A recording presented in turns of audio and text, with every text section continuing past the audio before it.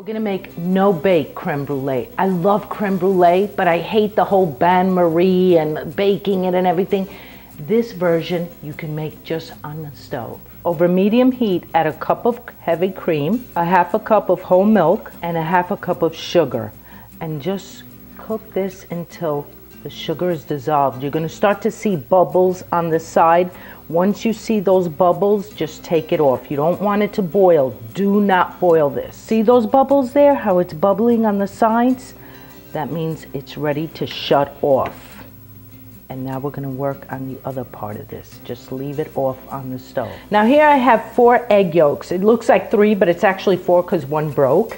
And I'm gonna add two tablespoons of cornstarch to this and just whisk it together until it's combined. Now slowly add your milk. Don't add it all at once, otherwise it will curdle. Now pour it back into your saucepan and you're gonna cook this for about three to five minutes until it thickens. And make sure that you stir it while it's cooking. You don't want to burn the bottom. Once you got it nice and thick, add a tablespoon of vanilla extract. And now I highly recommend that you strain it because you will have some lumps in it. Unless you like the lumps, then go for it. Leave it the way it is. But I personally like to strain it. Just run it through the strainer. And now you're going to put it into your dishes. You can use ramekins, whatever type of dishes you like. I have these shallow brulee, creme brulee dishes, so I'm gonna use them. Now just put them in the refrigerator for about two hours. Now comes the fun part. We're gonna brulee the top. Brulee is French for burnt. I looked it up.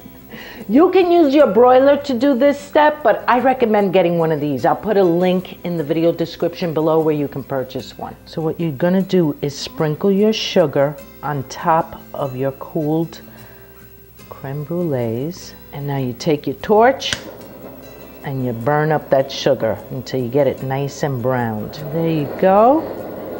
It's looking good. You want that burnt sugar on top. It's beautiful. And you let that cool before you serve it. And that's it. Oh, look, you hear that? That's exactly what you want.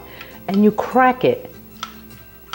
Look how nice that is. Oh God, let me try it. It's creme brulee. Tastes just like regular creme brulee. I absolutely love it. You want to try it? Yeah. I hear it all crunchy. Oh, it is crunchy. The top is crunchy. Now, let me tell you, if you don't have the torch, you can do it in the broiler. I recommend getting the torch because it's just mad fun to torch things, you know? Right? Right? Marshmallows.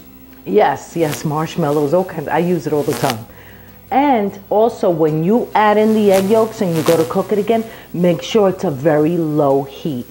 I'll put all the ingredients and I'll add the instructions to the video description. I hope you try it. Try it for the holidays. Impress your guests with this. Isn't it nice? I hope you try this. Don't forget to thumbs up and enjoy. For more dessert recipes, check out my playlist. And don't forget to subscribe. I post a new video every Saturday.